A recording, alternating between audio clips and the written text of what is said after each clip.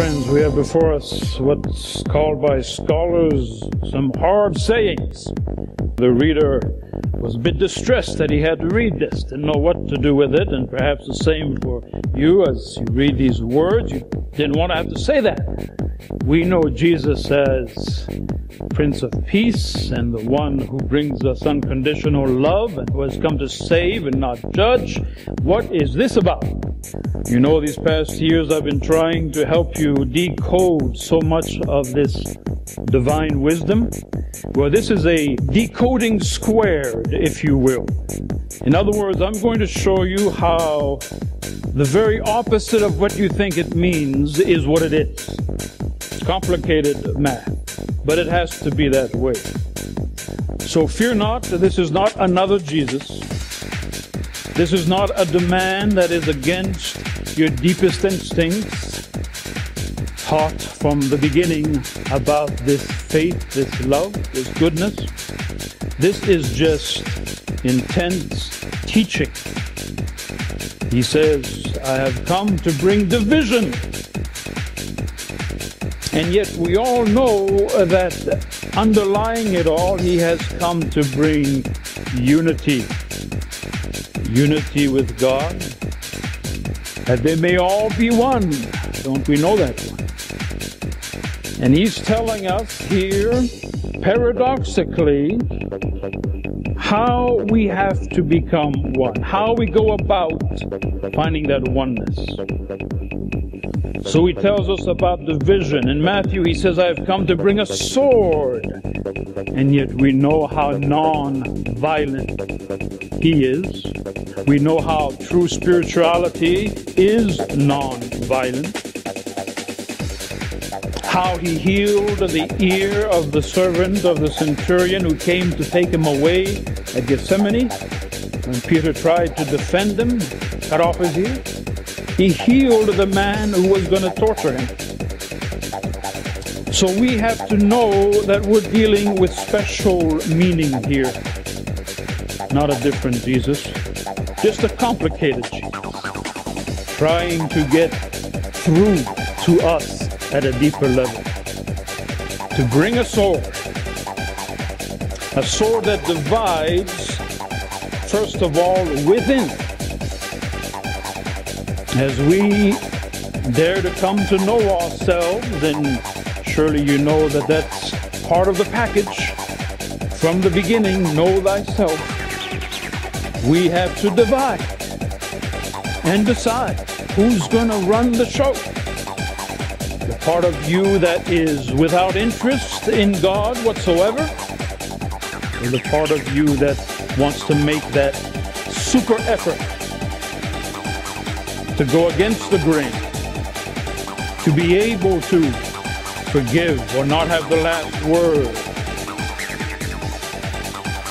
to accept the unacceptable sometimes, to trust in God when there seems to be no reason.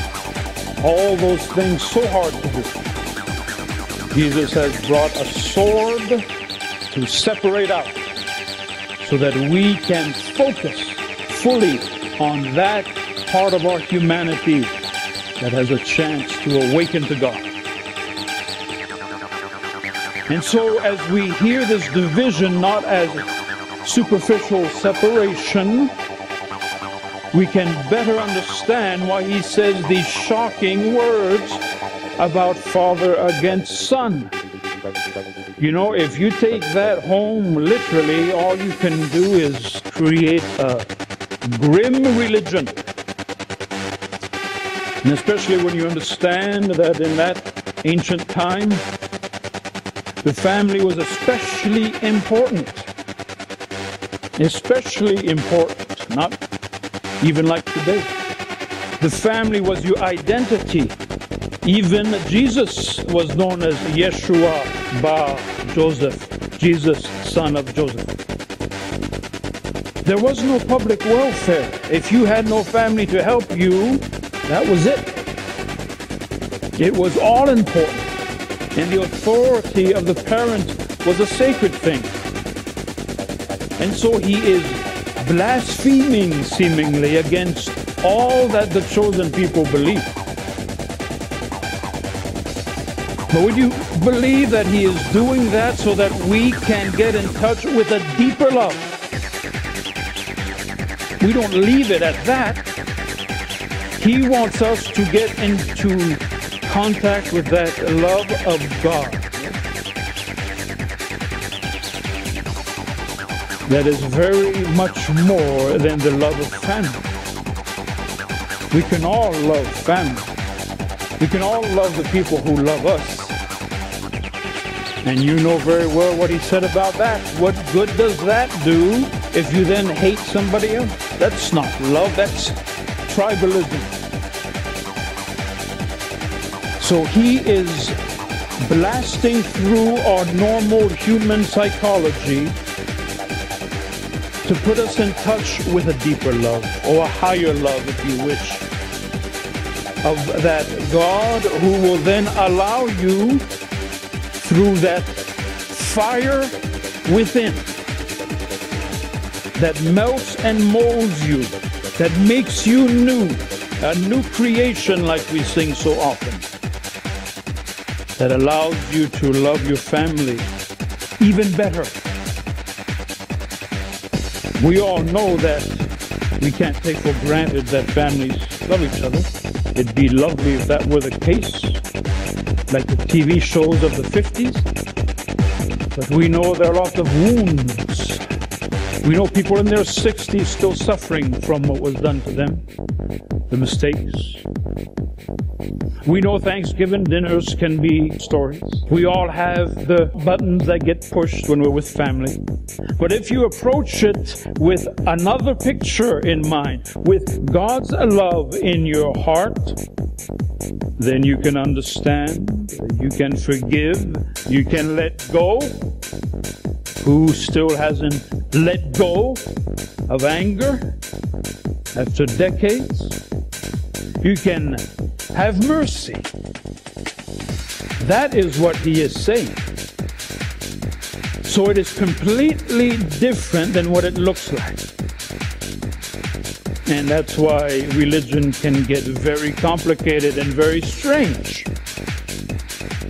Because if you take it just on the surface, what are you going to do with it? I know some folks who left family because that's what it says. When in fact it is love your family with a deeper love because you are a person now who loves out of God's love. So this division is a complicated matter. We all know families where some people believe and some don't. We know sometimes that there is no meeting ground whatsoever, even in the same bloodlines. We know that we can be closer to someone whose understanding of God is like ours. We can be more of a brother or sister to them than to our own because there is this glorious common understanding. So that's another dimension of division. It is impossible to expect everybody to accept how you think, to respect what you think. And you must go beyond family to that which is ultimate and stand firm in your faith, regardless. It is inevitable that somewhere there will be conflict. And then he goes on to the signs of the times. So we go from this new understanding that division is actually meant to bring us to true unity. We go from there to the signs of the times. And he speaks about things that the folks he was talking to understood. A cloud in the west meant that from the Mediterranean in the west, rain was coming. As I told the folks in chapel, I learned the hard way that when you're close to the ocean, it rains a lot. Rain comes from there. They all knew that. They all knew that in the south, that wind coming up from the south was going to be hot because down there was the Sahara Desert. And he uses these humble, simple examples to show that if we know these things, these simple realities, how can we not know the signs of the deeper realities? For example, how can we not know that the violence in our world, the horrors we see on television, are signs of our present time? How can we not know that being politically correct and removing God from everything is a sign of the time? How can we not know that what is needed to heal this world are people who will live this teaching out? This is why church cannot be a Mickey Mouse affair, an old habit you've had. This is urgent and serious today in 2013. And it doesn't matter if we're not overflowing with people. We live in a world that has turned its back on God. Know the signs, like that cloud in the sky, the farmer knows it's going to rain you know that we live in a secular society, which means that your role, your faith is all the more important. God needs a few good people, and it doesn't take too many. Jesus was fine with 12 disciples. He didn't need 1,200. 12 disciples who changed the world, changed world history. So, however we grow, which of course is a delight for us, it is the strength of our faith, the standing firm in God's love, despite everything else, the overcoming our differences, the unifying of our ability to care for each other and for others that is going to change the world today. It may not change it globally, but if you are conscious of our times, you know how important this is. This is not a prelude to lunch. How many churches are all about going to lunch after church and putting up with the preacher while he's babbling until he's done? I say to you today, that the Christ is calling you to see the signs of right now, the present time, and how critical it is that each of us, in our own way, commit to being true to the teachings of Christ, commit to the path, make the effort to go against the grain of our natural selfish ways, enabling us to be instruments of blessing in a world that so desperately needs it, now more than ever, in any way you can. So be aware of the importance of your role in this life, now, whoever you are. Even if you can't get out of a chair, you're important if you shine with the goodness of God. So, friends, this teaching is hard because it's instruction.